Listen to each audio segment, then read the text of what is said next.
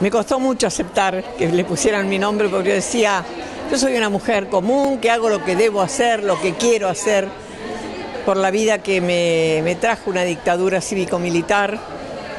Y no, no sé qué mérito puedo tener para que lleve este lugar maravilloso mi nombre, pero fueron tenaces y me convencieron y bueno, maravillada con lo que encuentro cada vez que vengo, esta gente dedicando su pasión profesional a traer chiquitos al mundo, a aconsejar en situaciones de por ahí embarazos de diferentes eh, formas de abordarlos, de acompañar un momento tan sagrado como es la maternidad para la mujer, permitirle al hombre, felizmente que ahora comparte todo con su pareja para criar esa, esa criatura con tanta responsabilidad.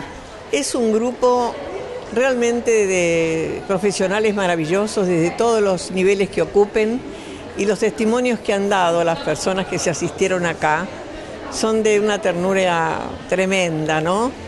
Eh, el valor de algo que es del Estado, pero llevado con el corazón, y no rechazando a nadie, sino abriendo las puertas para todos. Creo que es la obra que merecemos y acá la están haciendo. Y por eso le pido a los pobladores de Moreno, ciudad de mi padre, de mi abuela, de mi bisabuela, eh, los Barnes eran de acá, que acompañen, que ayuden, que colaboren. Todos podemos poner un granito de arena para que esto sea y siga siendo como es, porque el empeño que tienen es casi divino, ¿no? Se celebra la vida aquí. Se celebra la vida, se trae la vida, tres mil niños. Es un batallón y hay que asegurarles que vivan bien. Mientras sigan visitando esta casa, papá y mamá, cuando tengan un problema de salud o no, van a encontrar respuestas, amistad, protección, y eso es muy bueno.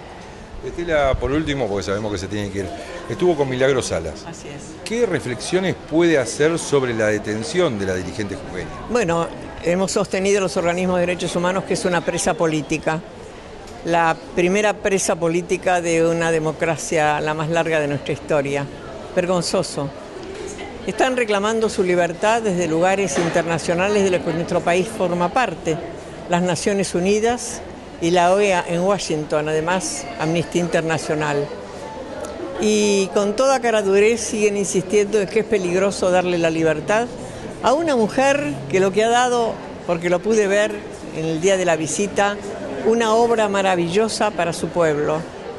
Claro, ahí dicen, si es negra y aborigen, no sirve, no vale, tenemos que tener todos los demás y hay una lucha en el pueblo, porque en estos 12 años de la llamada década ganada aprendimos a ser respetados, a que nos dieran nuestro lugar, a que nos dieran respuestas, a que nos, dieran lo que un pueblo necesita, que el Estado sea el que lo cobrija, que lo defiende y lo atiende.